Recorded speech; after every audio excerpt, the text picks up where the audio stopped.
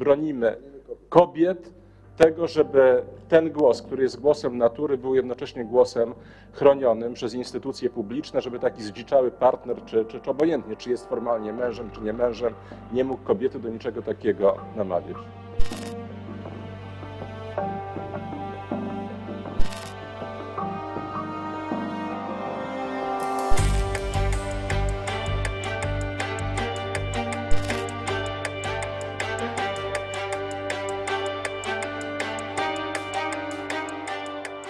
Naprawdę chore, żeby w XXI wieku ktokolwiek ustawą zmuszał ludzi do rodzenia dzieci, które umierają potem w straszliwych męczarniach zaraz po urodzeniu albo zmagają się z ciężkimi chorobami.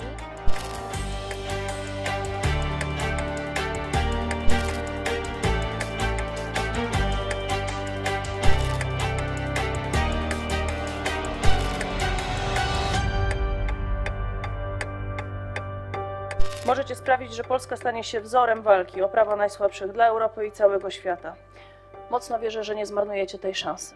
80% ludzi nie chce zaostrzenia prawa aborcyjnego i nie chce, aby ta sytuacja miała miejsce, ta, o którą apeluje pani Kaja Godek. 80% ludzi. że ta cała nagonka przeciwko projektowi Zatrzymaj aborcję i cała proaborcyjna frazeologia jest frazeologią, która nie jest w obronie kobiet, tylko jest w obronie nieuporządkowanego życia seksualnego mężczyzn.